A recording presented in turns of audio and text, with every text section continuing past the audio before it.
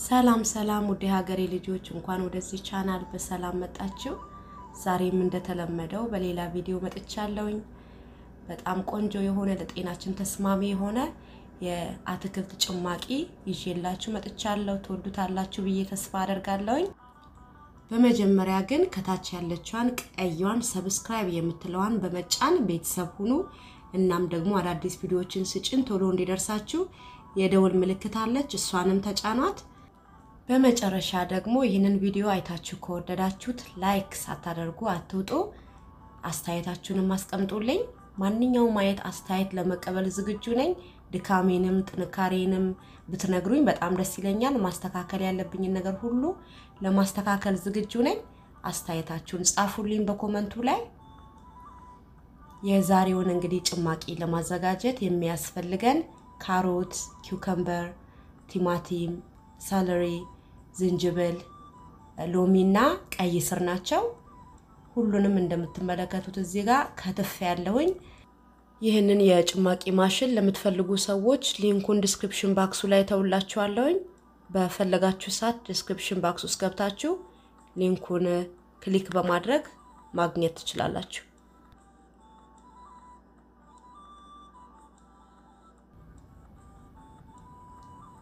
በመጀመሪያ ቀይ ስሬን እጨምቃለሁኝ። ሁሉንም በቃ እንደዚህ እያስገባውኝ እጨምቃለሁኝ ማለት ነው። በጣም ቀላል ነው። ይህ ጭማቂ እኔ ታምረኛው ጭማቂ ብየዋለሁ። የእውነት ነው የምላችሁ። በጣም በህይወቴ ላይ ትልቅ ለውጥ ያመጣ ጭማቂ ነው ብዬ ብል ማካበድ አይሆንብኝም። የእውነት በእኔም በልጆቼም ላይ ያመጣው ለውጥ ስላለ ነው። ይህንን ቪዲዮ ስሰራላችሁ የእውነት ነው የምላችሁ በጣም ደስተኛ ሆኜ ነው እየሰራሁላችሁ ያለሁት ምክንያቱም የሰማሁትን ሳይሆን ያየሁትን ነገር ነው share ላደርጋችሁ ላካፍላችሁ የመጣሁት ማለት ነው። የዛሬ ሁለት ዓመት አካባቢ መቶ ሰማንያ ፓውንድ ነበርኩኝ። ዛሬ ደግሞ መቶ ሀያ አምስት ፓውንድ ነኝ እና በጣም በቃ ቃል ያጥረኛል። እንዴት ደስተኛ እንደሆንኩ ልነግራችሁ አልችልም።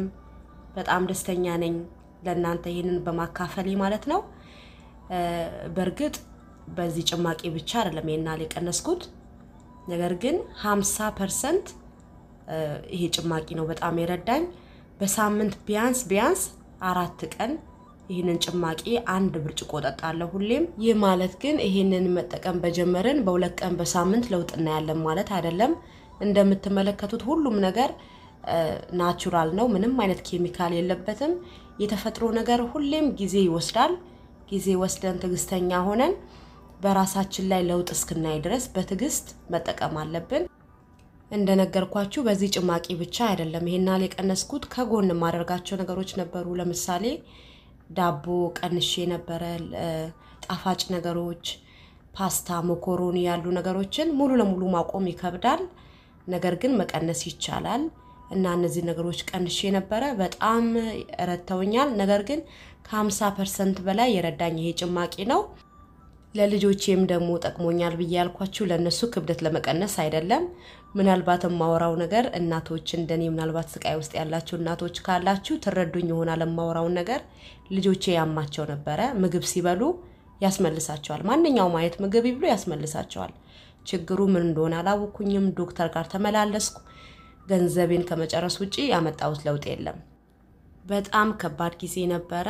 አሁን ካለፈ በኋላ ማውራት በጣም ቀላል ነው። ምናልባት በዚህ ሁኔታ ውስጥ ያለፋችሁ እናቶች ታውቁታላችሁ ምን ያህል እንደሚከብድ። እንደምትመለከቱት አሁን ሎሚ እየጨመርኩኝ ነው። ቅድም ያዘጋጀሁትን አንዱን ሎሚ ጨምቄ ጨምረዋለሁ ማለት ነው።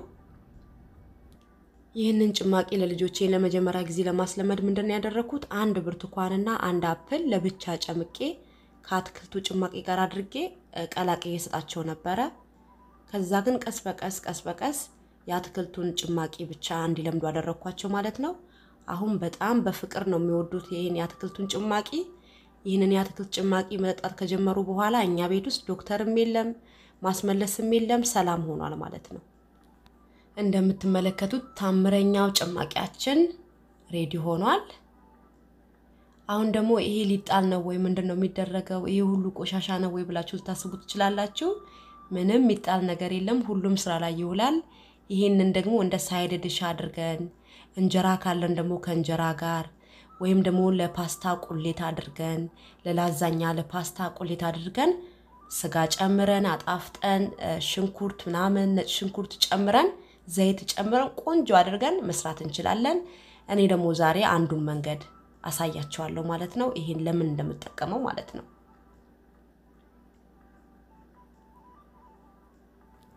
እንደምትመለከቱት ሁሉም እኩል አልተፈጨም። ስለዚህ ከፍ ከፍ ያሉትን በእጄ እየመረጥኩኝ ያወጣው እከትፋቸዋለሁ። እንደዚህ ከተፍ ከተፍ አድርጋቸዋለሁ። ብዙም ማርቀቅ አይጠበቅብንም።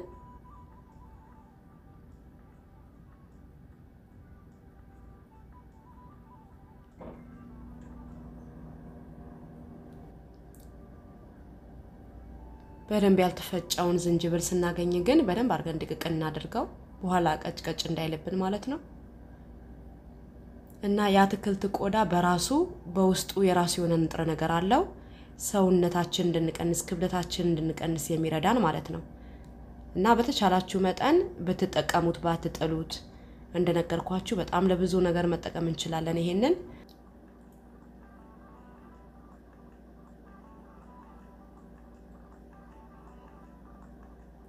እንደምትመለከቱት ሽንኩርት በደንብ አድርጌ ጥብስ አድርጌ ያለውኝ በደንብ አድርቄ ያዘጋጀሁት ደግሞ ነጭ ሽንኩርት አለኝ። እኔ ነጭ ሽንኩርት ስለምወድ በርከት አድርጌ እጨምርበታለሁ። እናንተ የምትፈልጉ ከሆነ እዚህ ውስጥ ስጋ መጨመር ትችላላችሁ፣ ዶሮ ወይም ደግሞ ተጨማሪ አትክልት መጨመር ትችላላችሁ። ነጭ ሽንኩርቴንና ሽንኩርቴን በደንብ አድርጌ ጥብስ አደርገዋለሁ። በደንብ ከጠበስኩኝ በኋላ አትክልቴን እጨምራለሁ ማለት ነው።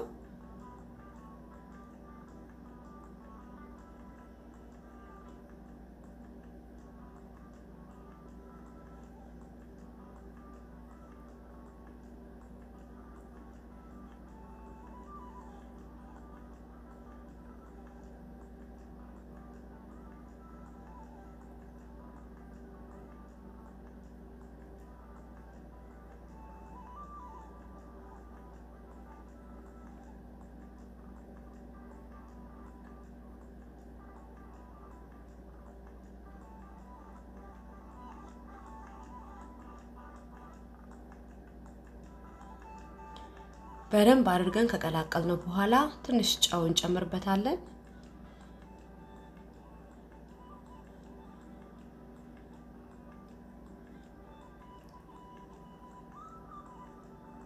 ከዛ በደንብ እንቀላቅለዋለን።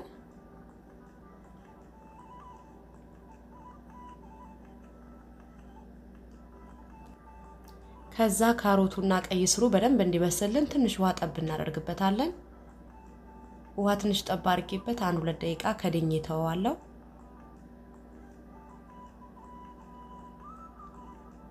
እንደምትመለከቱት እሳቴን ቀንሼ ነው እየሰራው ያለሁት። በጣም ከልክ በላይ አብስለን ከውስጡ ያለውን ነገር ደግሞ መግደል የለብንም አብስለን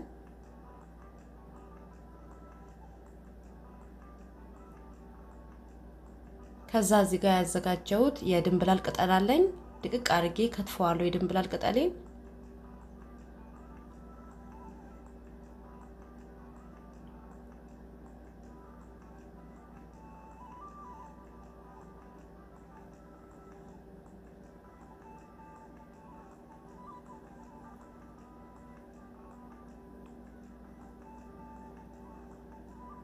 እዚህ ጋር ደግሞ ቃሪያ አለኝ። ቃሪያው ይሄ በጣም የሚያቃጥል ቃሪያ ነው። የሚያቃጥል ነገር በጣም ነው የምወደው። እናንተ ከፈለጋችሁ የፈረንጅ ቃሪያ መጠቀም ትችላላችሁ፣ አለመጨመርም ትችላላችሁ። ግን የሚያቃጥል ነገር ሲኖረው በጣም ጥሩ ነው፣ ይጣፍጣል። በምንፈልገው ሳይዝ ከተፍ ከተፍ አድርገን እንጨምርበታለን ማለት ነው።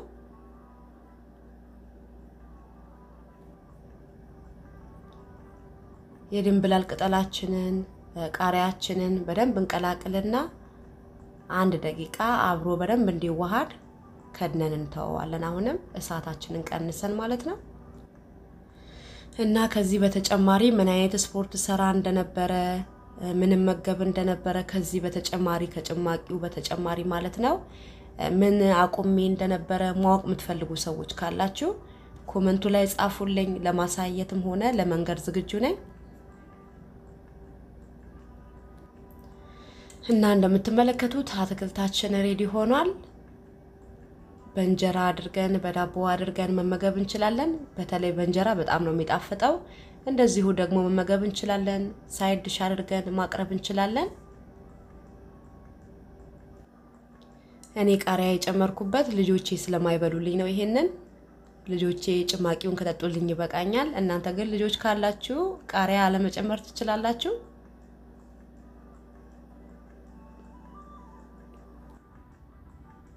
እንግዲህ የዛሬ ቪዲዮ ይህንን ይመስል ነበረ። እንደወደዳችሁ ተስፋ አደርጋለሁኝ።